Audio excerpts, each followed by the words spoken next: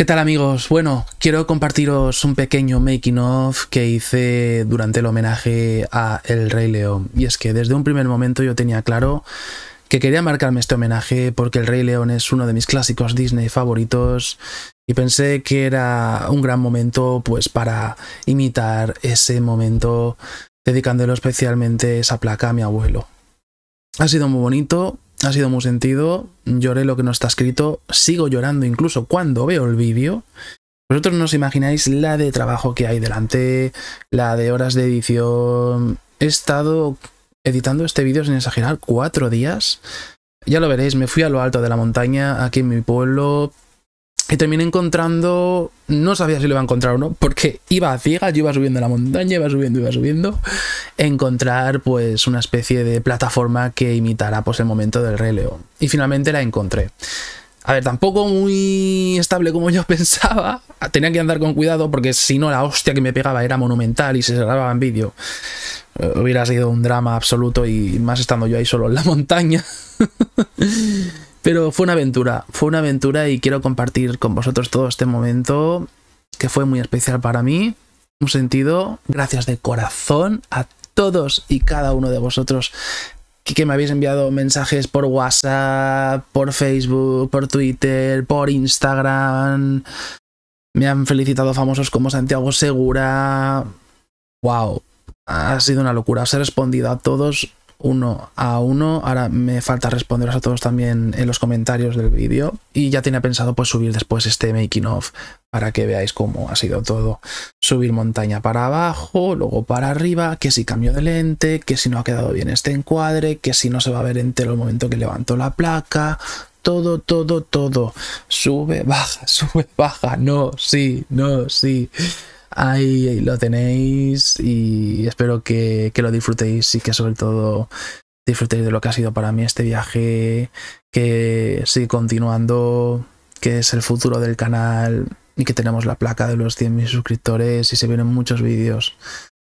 Y espero seguir apostando sobre todo como ya dije ya adelante con el nuevo micrófono, por más vídeos fuera de la cueva y con lo que estoy preparando de Freddy. Al mismo tiempo, al final del making of vais a tener un vídeo también especial eh, para celebrar el séptimo aniversario de la nueva adaptación de It que hoy Facebook me recordaba cómo me sentí de la emoción, del high, de haber visto una de las mejores películas de terror de los últimos años y que se iba a convertir en un taquillazo. Y flotó, flotó muy fuerte la taquilla. Y es también deciros que cuando yo hice este vídeo fue reacción absoluta eh, ir caminando hacia casa y, grabar el vídeo. Y en ese momento yo no tenía canal de YouTube, no existía la cueva de cinéfilo. Sí que compartía esta historia en mi perfil de Instagram y como muchos ya sabéis, a raíz de Instagram nació la cueva del cinéfilo. Así que también tenéis esta parte que está muy chula y me ha hecho recordar esos viejos tiempos. Disfrutadlo. Bueno amigos, un pequeño making of de el momento de la reacción de la placa de los 100.000 suscriptores me he subido al alto de la montaña aquí en mi pueblo, Martorell, y al final he encontrado una plataforma que se parezca un poco a la del Rey León porque eh, el homenaje es ese. Hacer como el Rey León cuando eh, Rafiki eh, levanta a Simba para enseñárselo a todo el reino. Pues he querido homenajear esa escena aquí después de subir un montón de cuestas. Así que estamos preparados. Ahí tenemos la cámara preparada, apuntando al objetivo donde vamos a grabar. Y bueno, vamos a ver qué tal queda la cosa. Menudas aventuras, tíos, menudas aventuras y que disfrute. Vamos a rodar. Bueno, pues aquí comenzaba el momento en el que subí la plataforma, ya os digo, estuve rato y rato buscando un lugar parecido hasta que di con él y comencé pues a hacer las pruebas de, imagen, a ver qué tal queda, el momento en el que levanto la placa, a ver si no me caigo, mira la plataforma Emilio que te caes, el equilibrio. Y entonces hacer pues la prueba de, imagen a ver qué tal va a quedar el encuadre y no, no, ahí el resultado no, no era el que yo buscaba, así que para arriba, luego para abajo, luego otra vez para arriba. Venga, Emilio, siguiente toma. Vamos a buscar ahora un poquito más para abajo la cámara, perfecto. Venga, prepárate. Vamos allá. Y lo mismo, hicimos eh, la misma prueba y el resultado tampoco era el adecuado. Me cortaba pues media placa y no quedaba épico ni quedaba resultón como yo quería que quedara pues en, ese momento. Así que siguiente toma. Volvemos a subir la cuesta y otra vez, venga, vamos a ver que no nos caigamos. Ya hemos practicado y ahora sí, el encuadre estaba perfecto, se veía todo el plano cambio de lente y muy bien, este es el encuadre que me gustaba.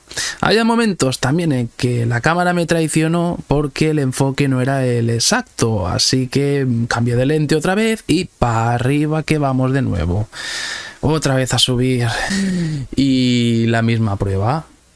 Esto con otra lente, pues a ver, quedaba también resultó, pero no, no me llegaba a molar tanto como con la otra lente. Así que de nuevo otra prueba, para arriba, miramos, está todo perfecto. Dije, bueno, esta me gusta, pondremos un trocito de esta, quedará guay.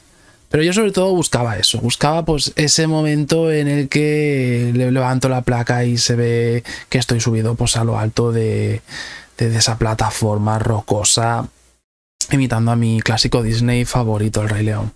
Así que aquí otro plano más, ya os digo, por lo menos no, no exagero si os digo que hice 10 planos en total. Eh, y es así, es así, hasta que encuentras el momento adecuado y dices, venga, me quedo, me quedo con este momento que es eh, el que vale. Hay que hacer 10 tomas o más porque una de ellas tiene que haber salido bien por narices. Y a mí me ocurrió en este caso que la última que hice, precisamente la última, era la mejor enfocada, ay casi me mato, era la mejor enfocada, la más resultona y la que en mi opinión quedaba más profesional y más épica. Y es esta toma. Esta es la toma que, yo buscaba, que se viera bien la, la plataforma rocosa, yo ahí levantando la placa, y wow, quedó muy bien. Esas ramas que veis a la derecha tuve que eh, quitar algunas con un palo porque, mm, vamos, me tapaba medio plano también. Así que estuvo, estuvo la cosa bastante juguetona, bastante interesante. Y ya veis, para arriba, para abajo, para arriba, para abajo. Pero bueno, al final merecía la pena el plano. Y aquí pues tenéis el momento final con la música añadida que le da totalmente la magia. Es increíble lo que puede llegar a hacer eh, una canción de fondo y un sentimiento tan grande como es este homenaje a mi abuelo. Así que muy contento con el resultado final y espero que vosotros también lo hayáis disfrutado. Gracias a todos, chicos. Tíos, pues tras unas 10 tomas, por lo menos, sí, 10 tomas, casi me caigo y todo. Hemos terminado, hemos terminado de hacer este homenaje al Rey León con la placa de los 100.000 suscriptores. ¡Wow! Ha sido, ha sido genial, ha sido una aventura y espero que lo disfrutéis tanto como yo porque pienso que, os va a gustar y que os va a recordar muchísimo a la película y joder, es una gran celebración, tíos. Estoy muy contento con la toma. Ahí tenemos la escena, el momento en el que levanto la placa. Madre mía. Tiene su trabajo, pero al final merece la pena.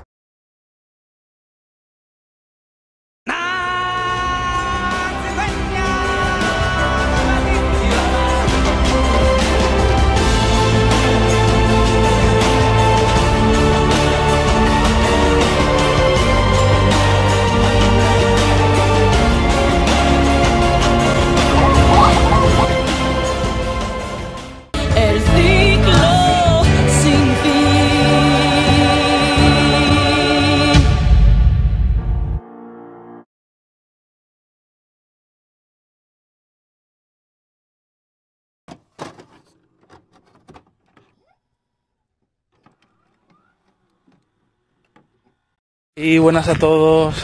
Qué mejor que hacer esta videocrítica yendo por el río, ¿verdad? A ver si yo también voy a flotar. Yo no quiero flotar, ¿eh? Pero todos flotan ahí abajo. Estoy muy emocionado. Estamos ante la mejor película de terror del año, y no exagero. Es buenísima. Tiene homenajes a los 80, a Tutiplen.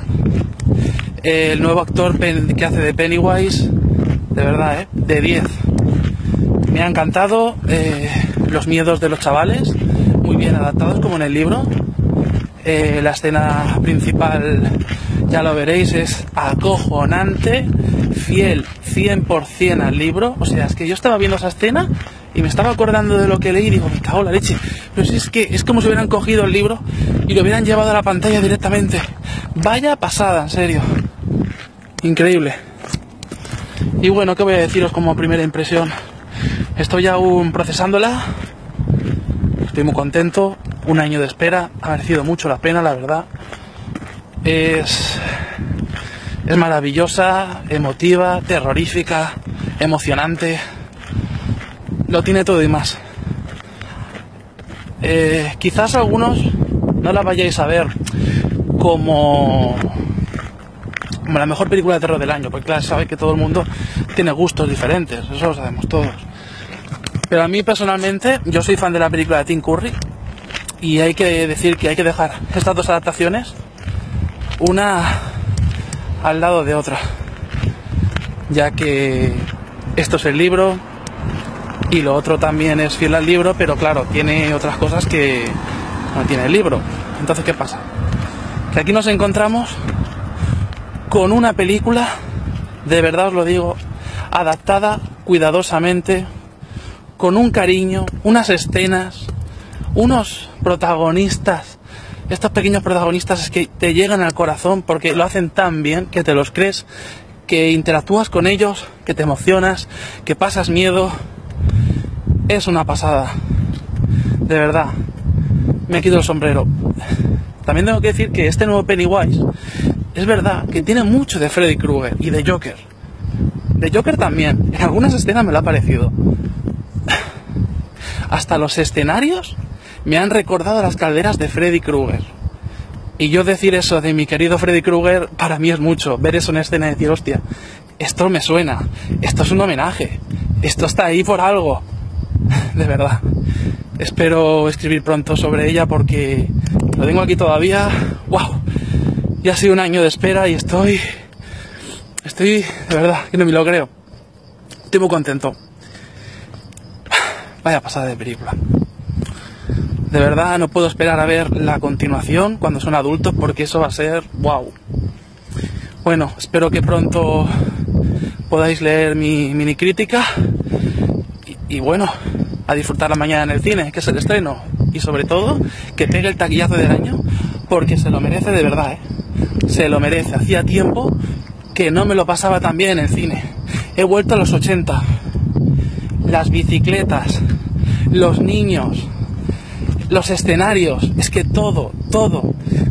A ver, me recuerda a Super 8, a Stranger Things, pero es que es tan buena. De verdad que no me la voy a quitar de la cabeza esta noche deseando mañana volver a verla y tener una opinión diferente porque me voy a fijar más en los detalles que me fijan bastantes. Fans de Pesadilla en el Street, cuando veáis la película de It, os digo una cosa, fijaros en el, cine de Derry, fijaros en la cartelera, vais a flipar en colores. Yo estaba emocionado en el cine, madre mía, ha habido un bote en, la, en las butacas que yo mismo me he quedado hasta flipando tiene unos golpes, unos momentos. ¡Wow! De verdad. Eh, Bill Skarsgård, como se llame, que es muy difícil pronunciar su nombre. Este es el nuevo icono del terror de este año. Y os aseguro una cosa. Os aseguro una cosa de verdad. Madre mía, qué mal rollo. Oh, qué mal rollo, tío. Yo por aquí de noche, ¿sabes? Joder, qué mal rollo. A mí se me va a parecer un globo. ¿Quieres un globo? Los tengo rojos. se me va la olla. No, si me pongo a hablar de cine y de, de películas, si me voy para el norte, me voy para el norte. En fin, estoy muy contento. De verdad, vais a flipar. Los que sois fan de la película de Tim Curry, eh, ya os lo digo. Una cosa es esto, otra cosa es lo otro. Aquí está todo muy bien adaptado, la verdad. La, la, primera escena de Georgie es una pasada, tío. Madre mía, eh. Aplaudo de verdad por no haber enseñado tanto los trailers y los teasers, porque vas sorprendiéndote a cada momento. Es que son dos horas y 19 minutos que se te pasan volando. ¿Qué dices tú, tío? ¿Ya ha terminado? Joder, yo quiero volver a verla, tío. Es que es, es que es muy buena. De verdad.